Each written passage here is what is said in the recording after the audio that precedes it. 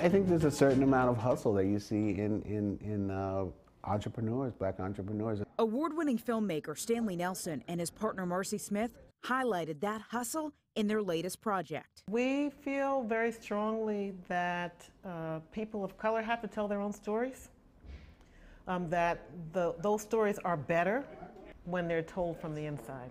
And that's, that's really why we exist. The film Boss, The Black Experience in Business, explores the history of African American entrepreneurship by tracing it back to its roots. It does give us some context about where that entrepreneurial impulse comes from for African Americans, and it comes straight out of the period of enslavement and straight out of the desire for freedom and independence. The film tells the stories of black businessmen and women who were prevented from chasing the American dream and instead set out to create a dream of their own. There's a, uh, a story about uh, Tulsa, Oklahoma, and this area that they called uh, Black Wall Street that's just amazing. One thing that would probably strike us is the absolute variety of businesses.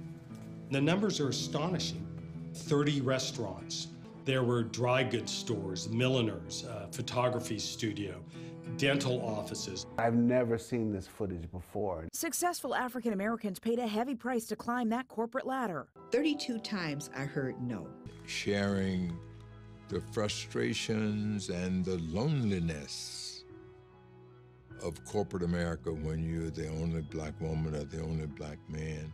Trailblazers like Ursula Burns shares her experience as the first African American female to head up a Fortune 500 company and the special type of mentorship it required. Vernon Jordan took me under his wing. He was a reaffirming voice. I mean, this is a black man who speaks like a black man, who walks like a black man, who treats me like a black woman, who I literally had a reasonable, normal relationship with.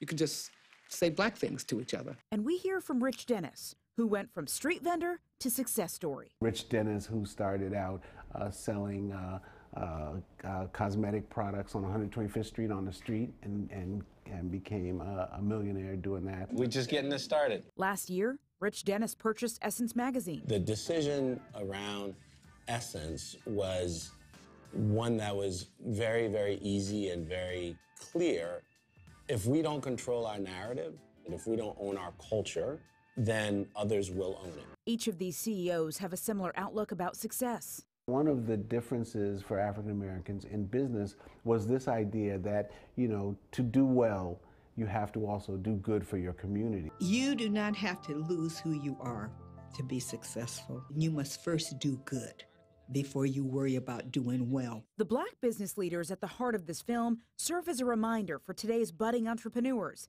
that the sky is the limit. Of course, we know that that that prejudice and racism still exists, but you know, why not me? Why why um, why should I not be the person that succeeds in spite of that?